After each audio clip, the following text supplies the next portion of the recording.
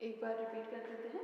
इसमें आपका जो है, सबसे पहले हमने निर्देशांक ज्यामिति का मतलब कहा था कि किसी अंतरिक्ष में या किसी स्पेस में एक बिंदु का निर्धारण करना आपका किसके द्वारा पढ़ा जाता है उसका।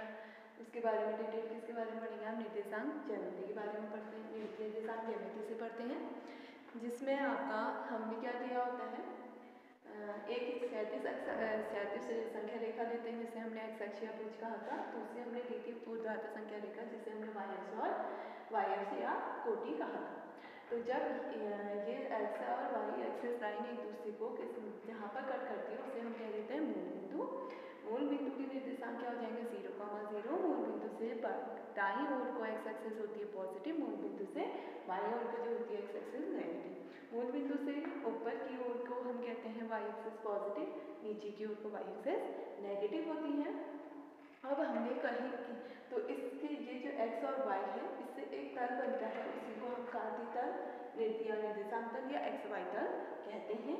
उनमें किसी भी तल में बिंदु को निरूपित करने का तरीका होता है एक्स कॉमा वाई से स्मॉल ब्रैकेट के अंदर हम एक्स कॉमा वाई से। क्योंकि, और ये जो एक्स वाई तल है, इनके द्वारा इस तल को चार भागों में विभाजित हो जाता है, जिसे हम चतुर्थांश कहते हैं। पहले वाले को फ़र्स्ट चतुर्थांश, दूसरे को सेकंड चतुर्थांश, तीसरे को थर्ड चतुर्थांश, चौथे को फोर्थ चतुर्थांश कहते हैं, और उसके बाद अब चतुर्थांश में हमें निर्देशांक दिखाने होते हैं, जो कि क्या है, आपका एक्स कॉमा वाई से हम निरूपित कर रहे हैं। पहले में आपका मूल बिंदु से दाई ओर को हमने भूल दिया है पॉजिटिव ऊपर की ओर को कोटी लिया पॉजिटिव तो इसके निर्देशांक क्या होंगे? पॉजिटिव पॉजिटिव सेकेंड चतुर्थांश में एक्स एक्सिस नेगेटिव है वाई एक्सिस पॉजिटिव तो नेगेटिव पॉजिटिव थर्ड में नेगेटिव नेगेटिव फोर्थ में पॉजिटिव और नेगेटिव उसके बाद जो हमारा मूल बिंदु है आ, वो क्या हो जाएगा आपका ज़ीरो कॉमा ज़ीरो अब इसी में अगर हमसे कहा जाए फोर कॉमा माइनस टू किस चतुर्थांश में स्थित है पहला पॉजिटिव यानी एक्स एक्सेस पॉजिटिव है वाई एक्सेस नेगेटिव है। X axes positive Y axes negative कौन सा हो गया? चौथा चौथा चौथा।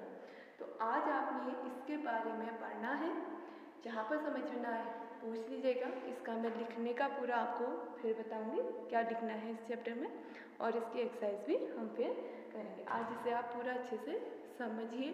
मैं क्या कह रही हूँ? और रफ कॉपी में इसको बना के अच्छे से इसको समझिए।